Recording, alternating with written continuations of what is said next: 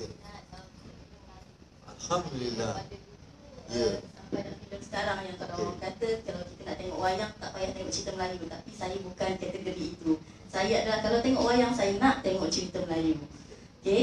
uh, filem ni bagus. Uh, di awal mula-mula tadi minit-minit yang pertama hingga 10 minit yang terawal tu saya teruja nak tengok dengan ada kanak-kanak dia menari dan apa semua.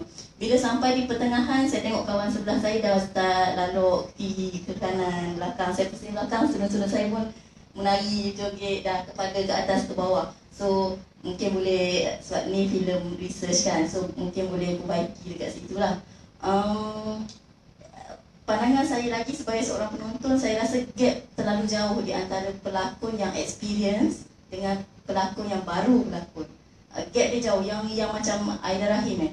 Uh, yang nenek dia tu kata-kata yang dia lontarkan tu terkesan dekat hati saya. Tapi bila yang mm, pelakon-pelakon baru tu nampak sangat kekayuan dia tu. Uh, dan uh, pelakon utama tu sendiri uh, pada saya kalau nak cakap Melayu then you just proceed bahasa Melayu je semua. Kalau nak cakap bahasa Inggeris, oh you want to mix it, ma- make sure benda tu ialah yang biasa kita cakapkan dalam dunia realiti kita. Uh, nampak perbezaan di situlah. Uh, saya harap komen ni tidak menyentuh hati yang ke apa kan. Okey. Uh, perspektif saya sebagai seorang penonton yang akan membeli tiket wayang ni suatu hari nanti lah. Insya-Allah. Uh, kasih. InsyaAllah. Um, lagi?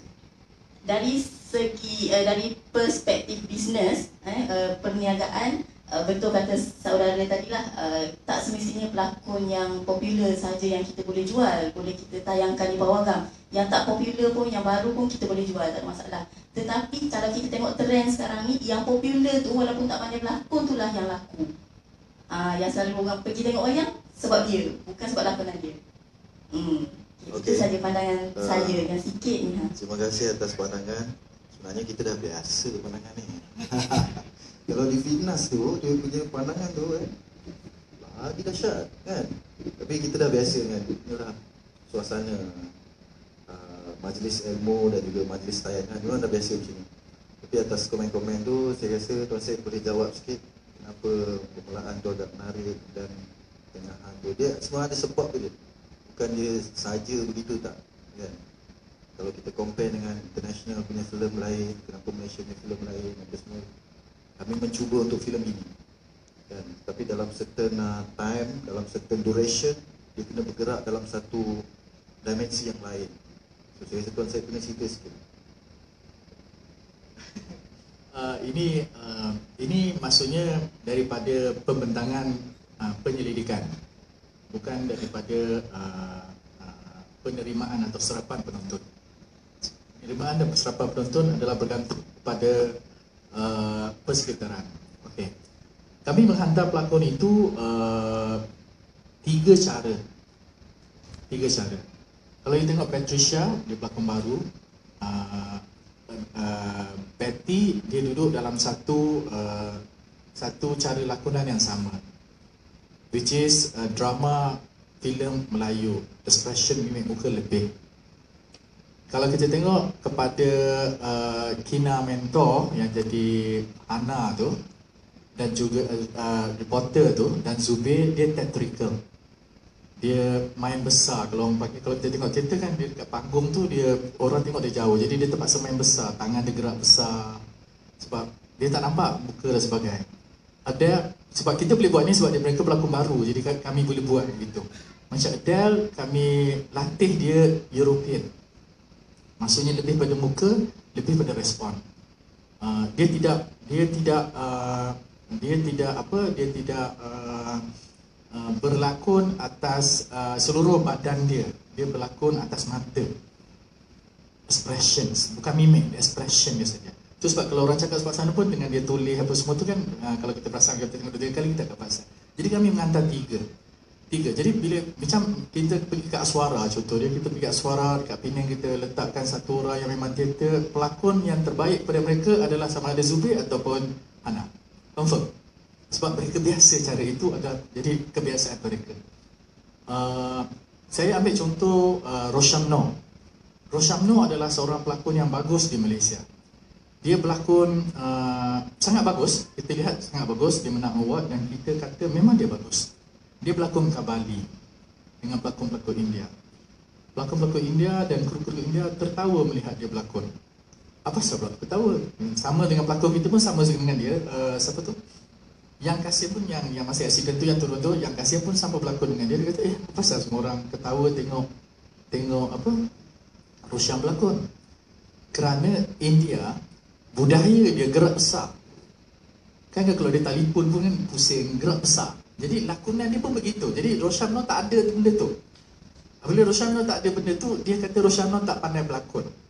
Jadi kami membuat perkara begitu dan kami train uh, Adele uh, itu sebab apa kalau kita lihat uh, European kalau pelakon India kepada kita dia berlebihan sebab kalau kalau misal kata kalau kita tengok Syaruhan dia buka spek pun dia begitu itu kalau kita tengok beberapa orang yang pelakon Malaysia pun ikut dia kan? Dia ada style dia tu kan? Memang memang tu. Tapi kalau dekat European Bollywood dia tak ada benda tu. Ah dia cara lain kan? Ah, jadi kita letak sebab apa kami buat begitu sebab kami nak hantar filem ni keluar juga. Jadi mereka kata oh bagus pelakon ni. Sebab apa kami buat di kami buat research ni? Kami buat research ni di di contohnya dekat UPM kita ada pelakon-pelakon Syiar, kita ada pelajar-pelajar Syiar yang tak faham bahasa Melayu. Kita buat di Lengkok pelakon uh, pelajar-pelajar antarabangsa yang tak faham langsung bahasa Melayu seperti yang anda tengok ini. Tidak ada subtitle. Mereka mati-mati mempertahankan Adele adalah seorang pelakon yang sangat baik. Sangat baik mereka kata because I can mereka kata I can understand although I do not understand her words. Jadi dia sebab apa kami train dia begitu. Kerana apa? Kami nak hantar dia keluar. Maksudnya kami nak hantar filem dia keluar. Jadi orang kata oh pelakon ni bagus. Uh, dan salah satu yang uh, yang yang komen mereka kata you dia kata, dia cakap dengan bahasa masa tu dia bergaduh dengan uh, pelajar-pelajar Malaysia yang kata Adele kayu. Uh, dia kata, if you watch a Chinese movie, Gong Li, do you know that she doesn't speak a good English, a Chinese? You wouldn't know. Dia kata. Sebab kita, banyak je sebab kita terpengaruh atas perkataan dan sebagainya. Uh, the point yang saya kata tu, seperti mana tadi, memang atas dasar pendidikan kita hantar penceritaan itu mengikut tiga cara dari segi lakonan. Jadi kita nak tengok dekat mana orang suka. Dekat mana orang suka dan memang kami dapat respon begitu. Okey, kalau kita tengok sampai ke pemilihan nama pun. Neneknya nama Maimun. Tak sebutlah kat situ, tapi nama dia Maimun. Very Malay. Anak dia nama Diana. Dan anaknya dihantar ke ballet dan kemudian berhenti setengah jalan. Dan Diana, nama Diana tu ada nama Melayu kan? Melayu ada nama Diana. English pada nama Diana, Chinese pada nama Diana.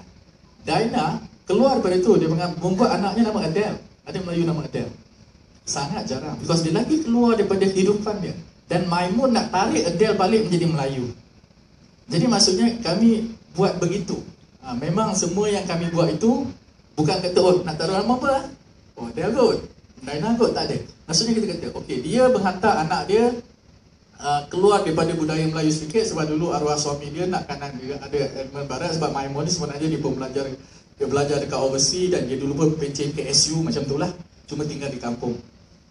Ha, tapi dia tak suka dia tak suka apa dia tak suka uh, anaknya tu uh, meneruskan bele tapi anaknya pula cita-cita bele dia ter, ter, ter, terganggu terberhenti disebabkan oleh emaknya bila arwah ayahnya meninggal dan kita dia hantar anaknya pula. Jadi dia hantar jauh jadi maksud saya itu uh, apa yang kita nak uh, sebab dia film research kita test banyak perkara lah Ha, kita test banyak perkara. Kita nak tahu sebab orang industri selalu kata kita tak tahu apa penonton nak.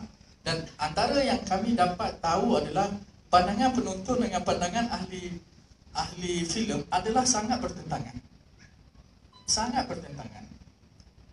Jadi maksud dia research yang kami buat ni membantu kami mengetahui kalau nak buat filem tanya orang filem. Tapi sama ada filem tu boleh buat soft filem tak? Jangan tanya orang filem. Kena tanya penonton. Kena tanya orang biasa. Macam itulah maksud dia. That is a very precious information yang kami dapat lah. Ha, jadi kalau misal kata, uh, bukan misal kata maksudnya, benda-benda inilah yang memberikan kami input. Yang yang yang membantu industri dan membantu kami untuk our